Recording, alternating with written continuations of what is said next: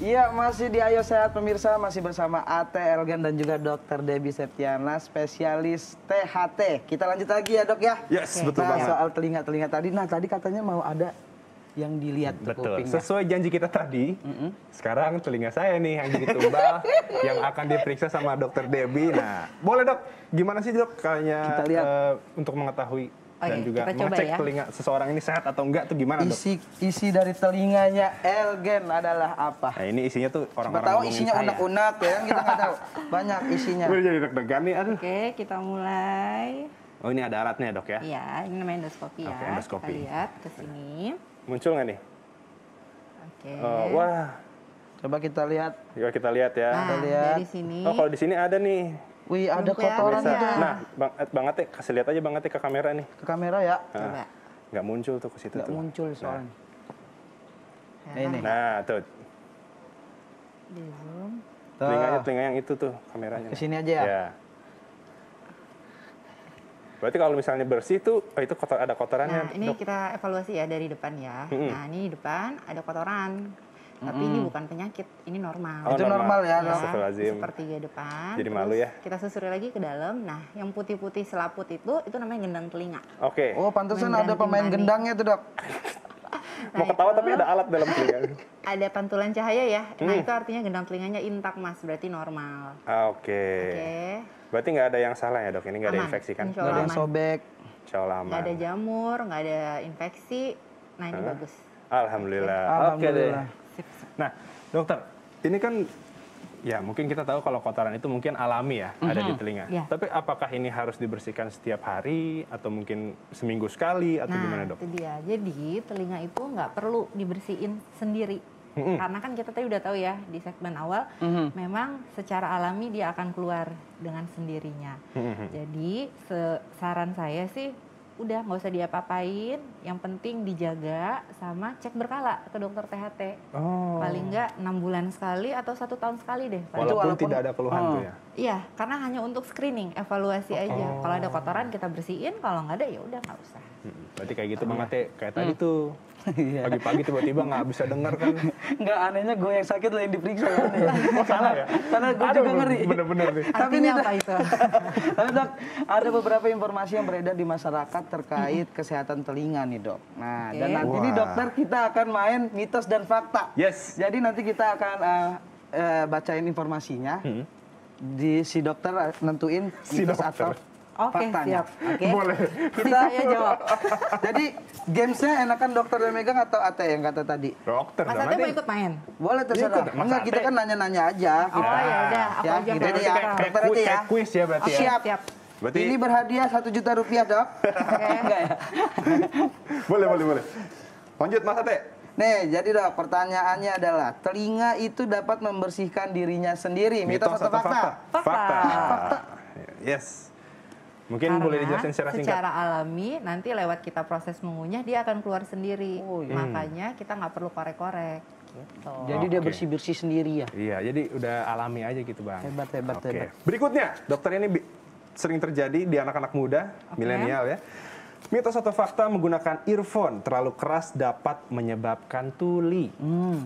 Satu, dua, tiga. Fakta. Oh.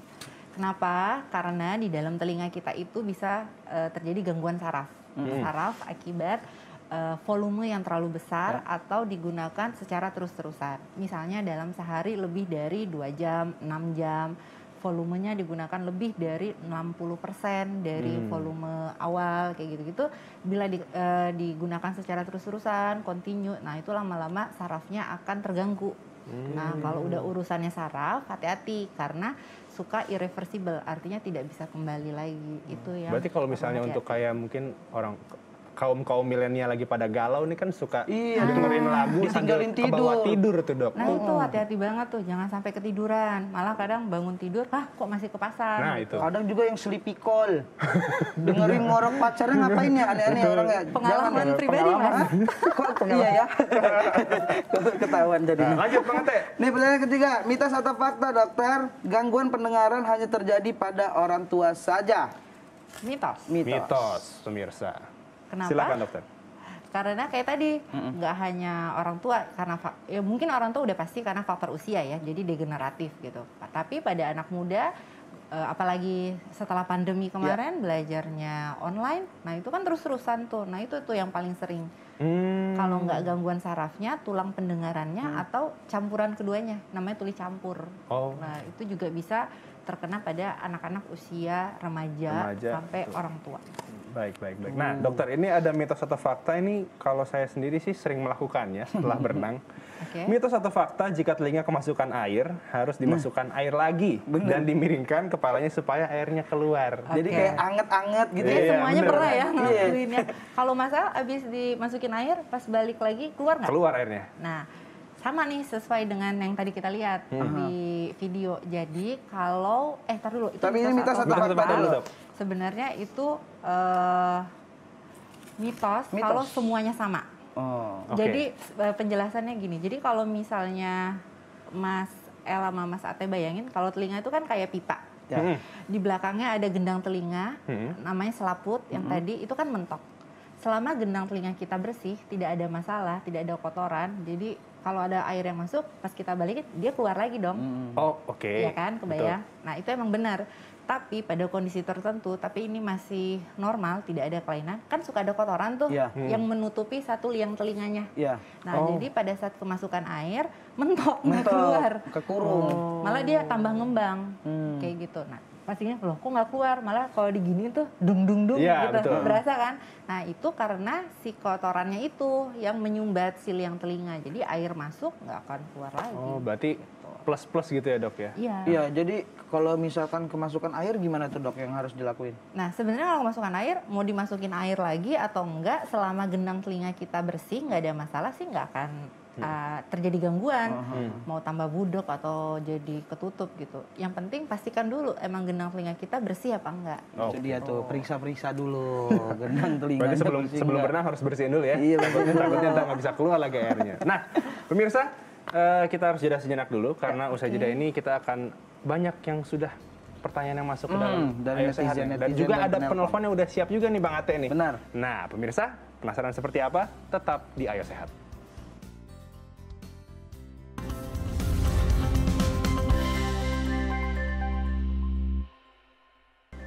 Ya, masih di Ayo Sehat pemirsa, masih bersama saya Elgin dan ada Mas Ate dan di tengah-tengah kita masih bersama dengan Dr. Debbie Septiana, dokter spesialis THTKL. Nah, sesuai janji kita tadi Bang Ate, Ya. ini sudah ada penelpon nih. Sudah ada nih? Sudah ada. Siapa tuh? Mau Coba. disapa dulu nggak nih? Boleh. Halo, selamat siang. Selamat siang, Mas Eljin. Halo, Halo, dengan siapa di mana, Bu? Saya dengan Bu Ningsi di Pamulang. Wah, Wah. Ibu Ningsi di Pamulang. Mantap. Monggo, silakan pertanyaannya Ibu Ningsi. Baik, terima kasih. Selamat siang, dokter. Siang Ibu. Iya, dok. Saya mau tanya nih, dok, eh, tentang suami saya.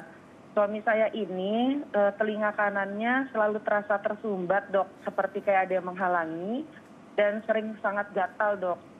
Nah, agar plong kadang suka dia bersihkan pakai cotton bud, dok. Yang keluar justru bukan kotoran kuning gitu yang normal kali ya, dok ya. Tapi kayak mentega putih gitu, dok, kayak lemak. Dan kadang keluar air. Apakah ini infeksi, dok, atau ada penjelasan medis lain ya, dok ya? Wah, gimana tuh Dokter Debbie tuh? Silakan.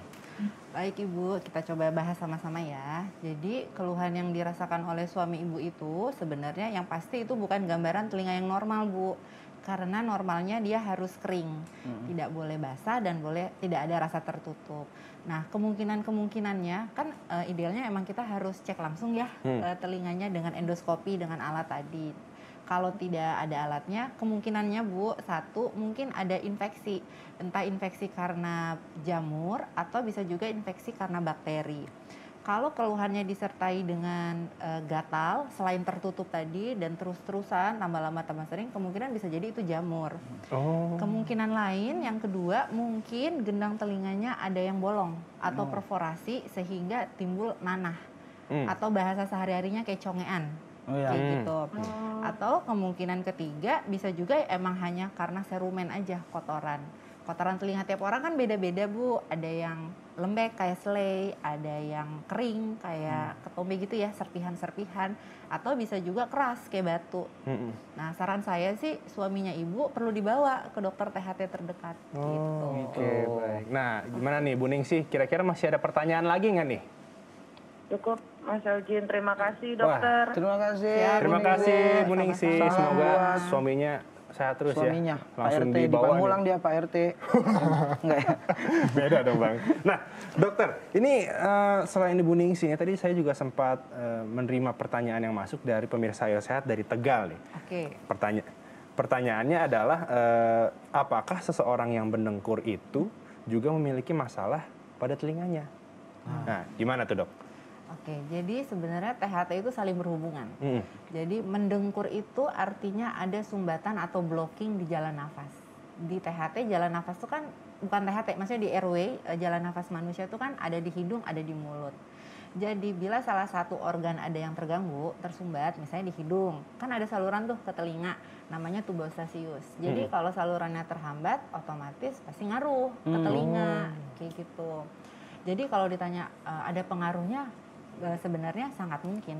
Bisa Sangat mungkin sekali. ya. Berarti memang harus dilakukan pengecekan Iya. langsung ya dok ya? Tetap harus dicek tapi eh, bukan hanya telinganya, hidungnya, semuanya. Hidung, tenggoroknya macam juga ya? harus kita lihat. Amat ini Harus double chin. lengkap ya.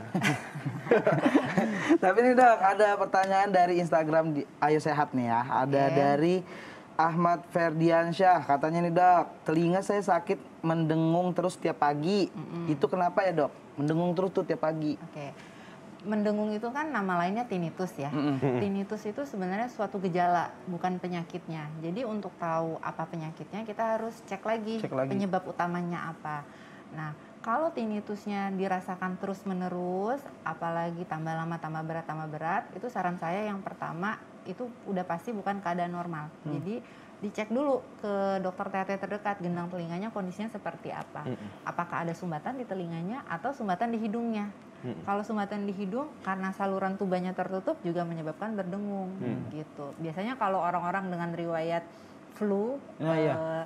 Bersin-bersin gitu eh, hidung meler tapi pagi hari aja terus nanti siangnya udah nggak lagi nah itu biasanya berpengaruh ke telinga Oh. sering banget kayak gitu Ada hubungannya berarti ya dok? ya? Sangat berhubungan. Nah sebelum eh, ke pertanyaan berikutnya dok, tadi kan dokter mungkin eh, sudah meriksa telinga saya nih, dan juga dokter juga menyarankan untuk eh, pertanyaan dari Mas Ahmad ini untuk memeriksakan terlebih dahulu telinganya seperti apa. Nah untuk alat-alat telinga, alat-alat pemeriksa telinga seperti itu kan banyak dijual juga nih dok. Apakah ada baiknya lebih baik ke dokter atau mungkin bisa beli sendiri untuk iseng-iseng cek sendiri kayak gitu kan bisa langsung dihubungin ke HP itu dok?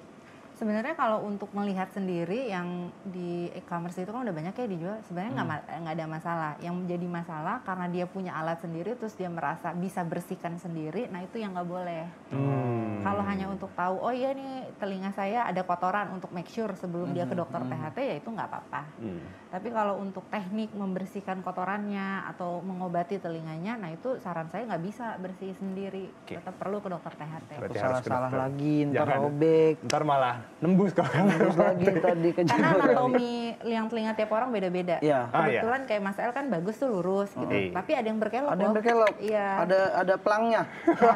labirin, Ada ada labirin bang, labirin. Ntar begitu masuk pertigaan, Iya. kan berabe ntar. Belok kiri nggak boleh langsung lagi. Terus lampu merah. Ntar belok. Nah, pertanyaan berikutnya dok, ini dari Ed Sekar Sujadi Sumarto. Apa sebab telinga sensitif saat mendengar bunyi nyaring? Nyaring. Nah, Eh kedua, Ini pertanyaan kedua. istilahnya kalau di THT itu namanya hiperakusis.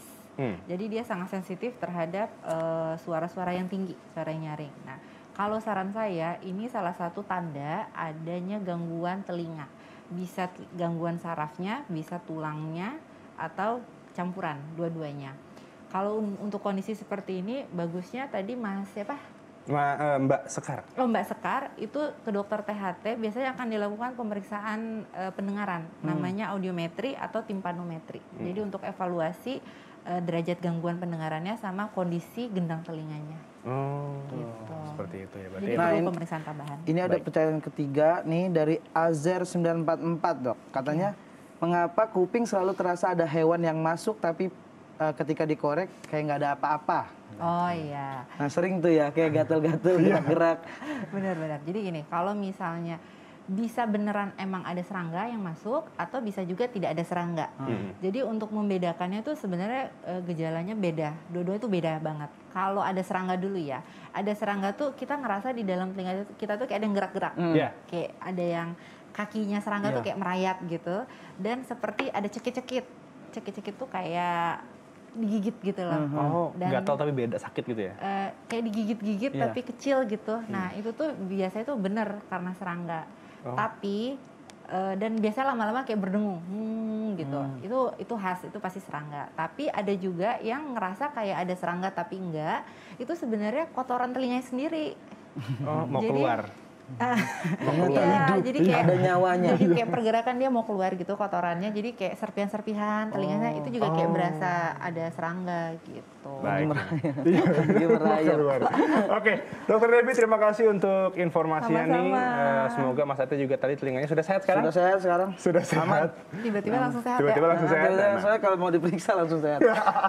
takut. Nah, semoga juga untuk pemirsa tadi yang sudah bertanya dan Ibu Ningsi dan juga eh, beberapa pertanyaan dari eh, Instagram. Ini sudah dijawab semua dengan jelas oleh Dokter Debbie. Dan minggu depan jangan lupa kalau misalnya masih ada pertanyaan bisa langsung eh, mengajukan pertanyaannya ke Instagram Ayo Sehat dan juga bisa telepon interaktif juga nanti di program Ayo Sehat tentunya. Usai sudah pertemuan kita 30 menit di hari Jumat ini tetap saksikan program Ayo Sehat setiap hari Jumat pukul 10.30 waktu Indonesia bagian Barat hanya di Kompas TV independen terpercaya. Jangan lupa juga follow Instagram @ayosehat underscore kompas TV. Jangan lupa lindungi diri, lindungi keluarga kita pasti bisa. Ya, kita semua pamit. Pamit. Sampai jumpa. Terima kasih.